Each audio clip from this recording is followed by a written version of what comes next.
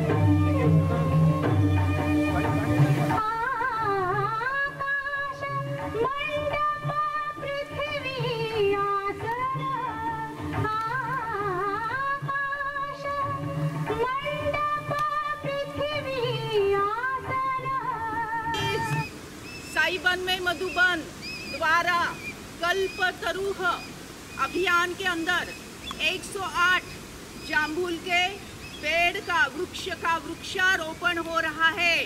चलो सभी वृक्षारोपण करें।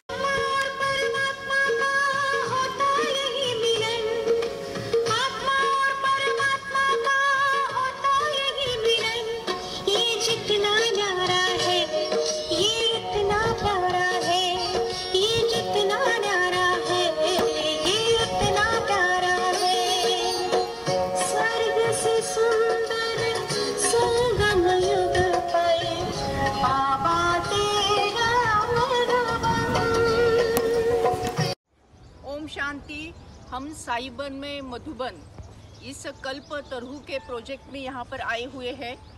तीन महीना पहले कल्प तरु प्रोजेक्ट के अंतर्गत यहाँ पर ब्रह्म कुमारी इस परिवार के द्वारा यहाँ पर जाम्बुल के पेड़ लगाए गए थे। अभी लगाकर केवल तीन महीने भी पूरे नहीं हुए हैं, लेकिन इसकी ग्रोथ अगर देखा जाए तो मैं तो इसकी तज्ञ नहीं हूँ, लेकिन हमारे साथ में राउत सर हैं। जो इस सभी प्लांट्स के तज्ञ हैं, मैं उनको रिक्वेस्ट करती हूँ कि सर आपको ये, इसकी ग्रोथ कैसी लगती है? थोड़ा सा आप कहिए। हाँ मैं Dhananjay Raut B S agri agriculture consultant हूँ। मैं जगह जगह पे घूमता हूँ। आज मैं साइबन में कल्पतरु प्रोजेक्ट में आया हूँ। तो इधर जामुन के पेड़ लगाए। उसकी ग्रोथ बहुत अच्छी है। तीन महीने में तीन फीट के प्लांट हो गए।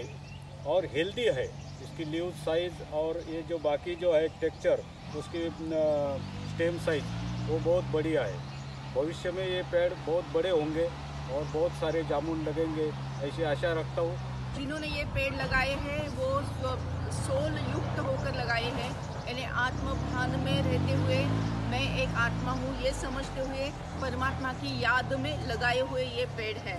और इसकी हिफाजत भी पूरे स्टाफ ने साइबन में मधुबन के जो स्टाफ है, उन्होंने बहुत ही अच्छी तरह इसकी हिफाजत की हुई है और प्रकृति भी बहुत अच्छी तरह साथ दे रही है।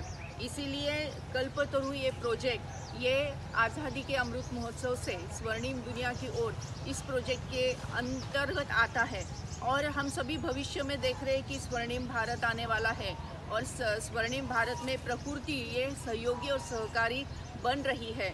उसका एक उदाहरण ये हमें प्राप्त होता है। इनकी ग्रोथ बहुत अच्छी हुई है। इनकी हाइट अच्छी हो गई है हेल्दी हो गए हैं और इन्होंने इसका सर्टिफिकेट दे दिया है जो इसके तज्ञ हैं। तो मैं बहुत बहुत धन्यवाद करती हूँ। बहुत बहुत शुक्रिया, बाबा शुक्रिया शुक्रिया परमात्मा शुक्रिया। आपने ये ये कमाल करके दिखाया। Thank you so much Om Shanti. Om Shanti.